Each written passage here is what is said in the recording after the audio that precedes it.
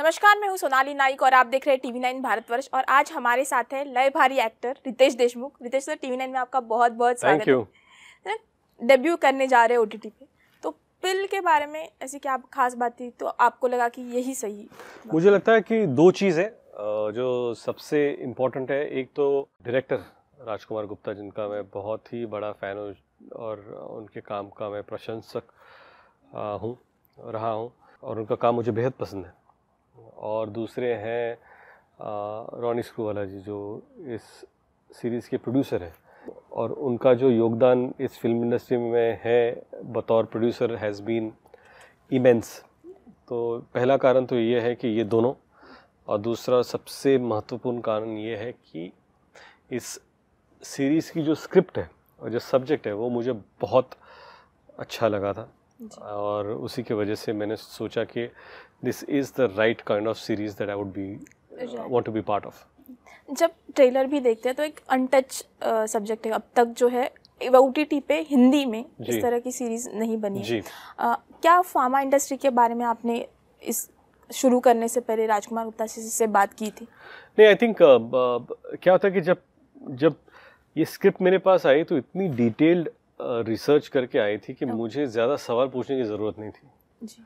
मेरे जो भी सवाल थे वो उसके जवाब स्क्रिप्ट में थे क्योंकि इनकी टीम ने पूरा रिसर्च करके ही ये सीरीज़ बनाई है और लिखी थी। So that's why I didn't have many questions but ऐसी सीरीज़ होती तो एक मेडिकल uh, टर्म्स भी काफ़ी होते। हैं तो उसकी प्रिपरेशन करना क्या चाहिए? नहीं बहुत सारे टर्म्स है नाम है मेडिसिन है जी. आम, और आ, मतलब इतने अजीब और गरीब नाम होते हैं तो वो अभी याद नहीं है बट तब मैंने रट लिए थे पूरे मेडिकल अथॉरिटी ऑफ़ इंडिया काफ़ी काफ़ी ये तो सिंपल बता रहा हूँ मैं आपको लेकिन जो दवाइयों के नाम भी वो भी काफ़ी मुश्किल नाम है सर जब आपका नाम जुड़ जाता है तो एक सर्टन ग्रुप ऑफ़ फैंस है वो देखना चाहते हैं सीरीज़ वो विश्वास होता है आप पे तो आपके डूज और डोंट क्या होते हैं कोई भी प्रोजेक्ट को हाँ कहने से पहले? नहीं वो विद टाइम बदलते रहते हैं। इट्स नॉट के ये सेट पैरामीटर्स है और इसी को मैं करूँगा। आई नो कि मैं I try to avoid using abusive language तो मुझे पता है कि वो ऐसा नहीं है कि शायद मैं कभी ना यूज़ करूँ लेकिन अब तक तो मैंने नहीं किया मैंने अवॉइड किया है। बिकॉज़ मुझे लगा कि किसी भी चीज़ के लिए वो इतना नेसेसरी नहीं था कि वो होना चाहिए। So these are one of the don'ts do's are any subject that touches your heart and then you think that ah इसे करने में मज़ा आएगा और this needs to be uh, done I I I say yes to it. Sir तीन चार सालों से पिछले आपने कॉमेडी नहीं की है। क्या कॉन्शियस डिसीज़न था? कॉन्शियस डिसीज़न तो नहीं था पर uh, उसकी भरपाई अभी अगले साल हो रही है। जी जी जी। तो इसलिए हाउसफुल धमाल और मस्ती तीनों फ़िल्में बैक टू बैक में कर रहा हूँ। राइट इस बार जो है बारह जुलाई आपके नाम है। आप वेब सीरीज़ में भी दिख रहे हो और फ़िल्म में भी। आदित्य सरपोदर आप मुंजा के बाद जो नाम है वो सब चर्चा में ज़्यादा है। आपने उनके साथ माउली भी की थी। और फास्ट फेने फास्ट फेने भी की थी। और अब जाके तो तब कैसे बात हुई थी? क्या तब बातें हुई थी कि आपको बॉलीवुड में आना चाहिए कभी? नहीं Aditya is a it's a wonderful director ji. Uh, हमने आई प्रोड्यूस्ड फास्टर फेने वेनी डायरेक्टर उसके बाद हमने माउली की उसके बाद ककुड़ा की फिर उनकी मुझे आई अब ककुड़ा उसके बाद आ रही है। बट uh, मुझे लगता है he is one of the most sorted director so he someone that has been wonderful है मैंने दो दो फ़िल्में उनके साथ की हैं तो it's he someone that is very exciting to work with sir जैसे कि अब आपने फास्टर फैनी की बात की बालक पालक भी आपने प्रोड्यूस की थी और हमने लय भारी और रिसेंटली वेट देखी। म्यूज़िक भी एक बहुत बड़ा हिस्सा रहा है लोग सुनते हैं। अगर मेरी प्लेलिस्ट में बोल तो लय भारी के गाने होंगे। म्यूज़िक पे कुछ ज़्यादा ध्यान देते हैं? किस तरह से इट इज़ वेरी इंपॉर्टेंट चाहे वो सॉन्ग्स हो या बैकग्राउंड स्कोर हो इट इज़ सो इम्पोर्टेंट के बिकॉज़ कभी कभी मुझे लगता है कि फ़िल्म का आधा नैरेटिव तो गानों में होता है और आधा इमोशन बैकग्राउंड स्कोर में होता है। तो वो बरकरार रखने के लिए बहुत ज़रूरी होता है कि आप उस पर ज़्यादा ध्यान दें। राइट इक्कीस साल पहले आपकी पहली फ़िल्म आई थी।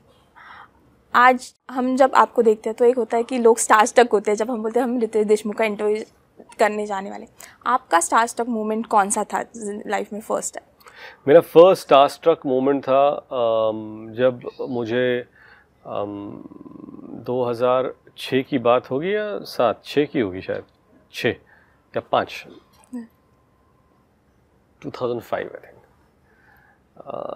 इंडस्ट्री में एक डेढ़ साल हुए थे मुझे और मुझे रामू जी का फ़ोन आया राम गोपाल वर्मा जी का और उन्होंने कहा कि रितेश मैं एक शॉर्ट स्टोरी करना चाहता हूँ डरना ज़रूरी के लिए। और एक कहानी है मेरे पास और प्रोफेसर और स्टूडेंट की कहानी है। जी। और मैं चाहता हूँ कि मैं अमित जी और तुम्हारे साथ करूँ तो कहानी कब सुनोगे? और मैंने उनसे कहा था कि शूट कब है। Because I was such a big fan of Amit ji that उनके साथ जब पहली बार हालाँकि मैं उनको पहली मिल चुका था because I had work with Abhishek और अमित जी के साथ uh, मैं पहले बहुत मैंने बहुत नहीं बट काफ़ी समय बिताया था। पर on the set as an actor to just stand in front of him and act was a huge star struck moment for me right वो फ़र्स्ट शॉट कैसा था? नहीं मैं सिर्फ़ देख रहा था और वो शॉट बोले थे अमित जी मेरी तरह देख मैं देख एंड आई वॉज़ लुकिंग अरे ये तो अमिताभ बच्चन है। ये तो अमिताभ बच्चन की आँखें हैं। ये अमिताभ बच्चन की गाल है ये उनका हाथ है। तो it was almost like is this for real this is Amitabh Bachchan मतलब it's it's not anyone is Sholay का अमिताभ बच्चन दीवार का अमिताभ बच्चन यार अमर अकबर एंथनी का अमिताभ बच्चन मेरे सामने खड़े हैं that kind of feel star struck अब जब हम आपके वीडियोस देखते हैं रील्स के बारे में तो बहुत लोगों ने बात की पर लातूर के भी काफ़ी वीडियोस जो कल्चर के वीडियोस है रील्स में स्टोरीज में दिखाई देते लातूर के बारे में ऐसी क्या चीज़ है जो मुंबई में मिस करते हो आप? माती। माती राइट ओके वेल हमारे सूत्रों से हमें ये भी पता चला सूत्र। एक कल। नो नो नो कौन है सूत्र? वो तो होता है जो बताते नहीं, नहीं है ना। नहीं, नहीं, सूत्र। जब अगर सूत्र नहीं तो जवाब नहीं मिलेगा। हमारे विश्वसनीय आपने यूज़ नहीं किया। विश्वसनीय। विश्व अच्छा अविश्वसनीय सूत्र अविश्वसनीय इसलिए हम पूछ बोल सूत्र के हिसाब से तो ठीक है। आपने बिग बॉस का प्रोमो जो है वो कल शूट किया ओ सूत्र। ओके। ओके। तो और पूरा महाराष्ट्र जानना चाहता है कब आएगा। प्रोमो? प्रोमो नहीं तो डेट कब डेट मैं अभी अनाउंस कर दूँ लेकिन आई जस्ट वेट अच्छा मैं क्या बोल रहा हूँ कि जैसे आपके विश्वसनीय सूत्रों ने आपको ये ज़िम्मेदारी से सही जानकारी दी है कि कल मैंने प्रोमो शूट किया है जी। तो उसी विश्वसनीय सूत्रों से पूछ लो कि कब शुरू हो रहा है शो ओके okay, वो हम पूछ लेंगे। लेकिन सर बिग बॉस का जब ऑफ़र आया था पहले महेश सर कर रहे थे। तो थॉट कि क्यों करना चाहिए? क्योंकि हमने आपको हिंदी में तो देखा है जब आप आते हैं तो एक नई एनर्जी आती है सेट पे। मुझे क्यों करना चाहिए? Why you think Bigg Boss is be the perfect platform no I I think के दे केम टू मी कि ऐसा ऐसा शो ये सीज़न हम करना चाहते हैं। हालाँकि थोड़े डेट्स के इश्यूज़ थे ऊपर नीचे तो मैं थोड़ा वक्त ले रहा था कि उस सॉर्ट आउट करना थोड़ा मुश्किल हो रहा था। But everything is worked out and मैं काफ़ी एक्साइटेड हूँ कि ये फॉर्मेट मुझे बहुत पसंद है। Right. So hopefully i'll be able to uh, you know add a bit to it. या और सलमान सर ने भी आई गेस फोर या फिफ्थ सीज़न से शुरुआत की थी और आज वो सत्रह सीज़न में वो आप भी वहाँ तक सेवनटीन सीज़न की जर्नी करें। पहला सीज़न तो हो जाने दो। राइट और दूसरी बात कि ये जो लुक है। ये दूसरी बात बोल बोल के दस बातें तो बता चुकी है आप। तब तक जब तक दूसरी बात नहीं बोलती तब तक एक्टर को वो उम्मीद नहीं जागती ना कि अच्छा ये आखिरी सवाल है। तो पूछ दूसरी बात बताइए। क्या ये लुक राजा शिवाजी का है? ये? नहीं नहीं ये ये बाल बढ़ चुके हैं। अभी दो तीन लुक टेस्ट बाकी है so will figure it out okay last last सच में लास्ट है? क्या होगी इस सीरीज़ की यूएसपी और फैंस को मैसेज सीरीज़ की यूएसपी आई थिंक ये सीरीज़ का जो टॉपिक है वही इसकी यूएसपी है। एक ऐसा सब्जेक्ट है जिसके बारे में हम ज़्यादातर बात नहीं करते या जिसे अनदेखा करते हैं। जबकि इस टॉपिक पर डिस्कशन होना चाहिए, जो है दवाइयाँ जिस, जिसको हम कंज्यूम करते हैं।